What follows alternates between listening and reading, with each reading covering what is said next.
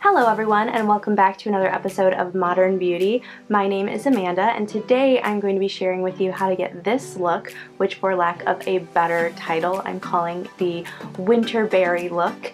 Um, and I wanted to do a look that was primarily red and so um, I put this look together and usually when you think of reds, the seasons that you wear red is generally in the fall with the red leaves and everything, and in the winter where it pops against the snow, the white. Um, and you do wear reds in the summer too, you know, if you're um, like a bright red lip or something like that. But generally, fall and winter are the times that I um, feel comfortable or feel like it's most um, seasonally appropriate to wear red. So um, for fall, usually I gravitate towards like a warm red, an orangey red, and in the winter I gravitate towards more of a cool red. So this look really focuses on the pinks, purples, reds, and then also splashes of um, bright highlight um, with the, the top shade for the brow and also for um, the highlight on the cheekbones. So um, to kind of give it that like winter frosty feel. So, like I said, for lack of a better title, the Winterberry look is here. And so stay tuned and I will show you how to get it.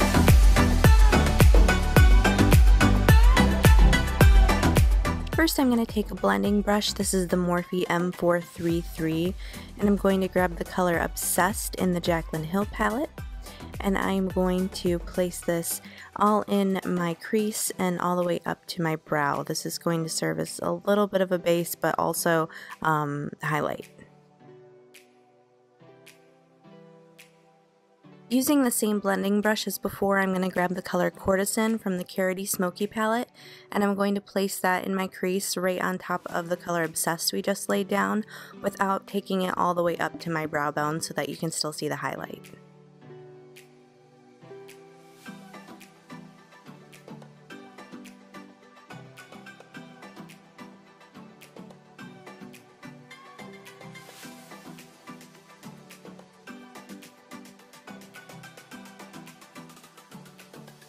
Taking a crease brush, this is the Morphe M519, I'm grabbing the color Yaba in the Karity Smoky palette, and I'm going to place this on top of the Courtesan color in the crease, and I'm just going to blend that into the previous color.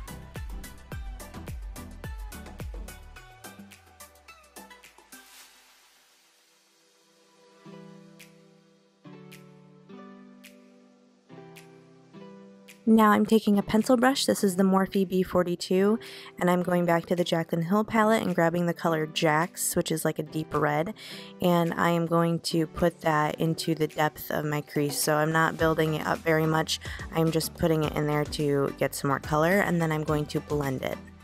Taking a packing brush, this is the Morphe M522, I'm grabbing the color Cran Apple in the Jaclyn Hill palette, and I'm going to pat this onto my lid and you can see I've got some fallout going on here so I think it's helpful when you're doing any eye look to do that before you do your foundation that's what I try to do that way you can clean it up and you can um, also get a more defined eyeshadow line should that be what you want.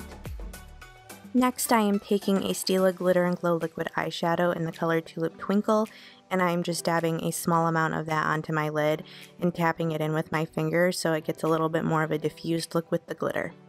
Once you're done doing your eye makeup on your lid, you're going to want to do your face makeup so we can move on to anything that's happening with the bottom lash line. I'm going to take the Wet n Wild On Edge Long Wearing Eye Pencil in black and line my bottom waterline with this. I'm taking another pencil brush. This is the Morphe M431 and is actually still available to get if you want to, unlike the other pencil brush I showed. I'm taking the color Cran Apple again in the Jaclyn Hill palette and buffing that into my lower lash line.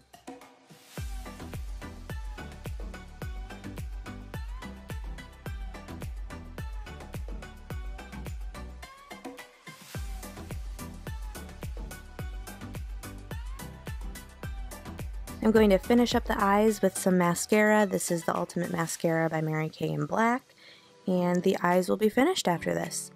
To complete the look, I'm going to use the Fanciful Amazonian Clay Blush by Tarte and put that on the apples of my cheeks.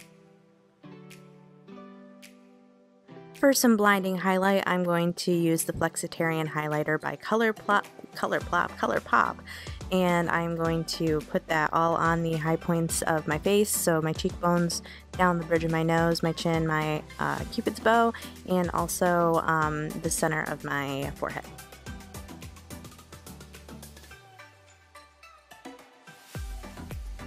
I'm going to take Lip Sense by SeneGence in the color Crimson, and I'm going to do one layer of this all on both of my lips. And I'm going to do something interesting and also add a regular lipstick into this mix. So we're going to do one layer of Lip Sense, one layer of regular lipstick, and then one layer of Lip Sense on top to try to lock in that color.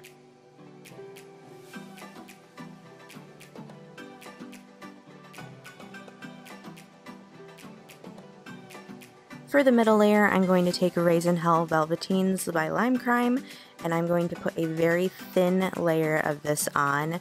Um, this has to be completely dry before we put the other layer of lip sense on top, so the thinner the better.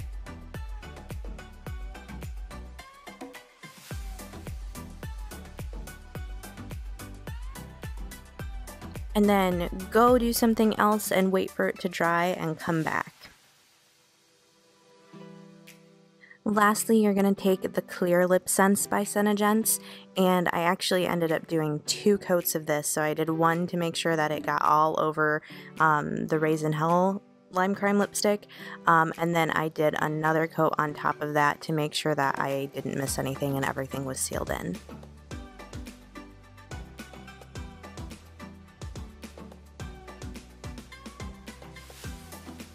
Once dry, I then topped it with a matte gloss by SeneGence, and the matte gloss helps to um, give all of the glory to that, that Lime Crime lipstick, which has a beautiful metallic finish.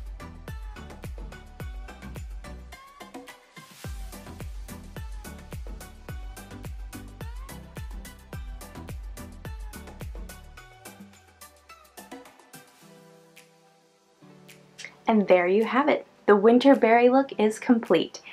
If you try this look or you use it for inspiration, I would love to see your creativity along with any other looks that you try to recreate or use inspiration from from this channel. Um, you can go ahead and tag me on social media.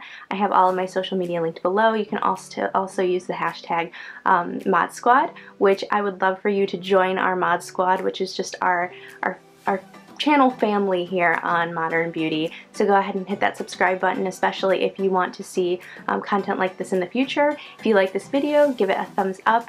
I am so enjoying spending time with you and I love you guys. I hope you have a wonderful, um, a wonderful December and Christmas season or holiday season and we're getting ready to head into 2019 soon which is super fun. I have one more video lined up before Christmas, I want to say. So I'm excited to see you guys in that one. Um, it's going to be a bit fun and a little bit different than what we've done on this channel so far, but will not be abnormal for this channel either. So I'm excited to share that with you guys.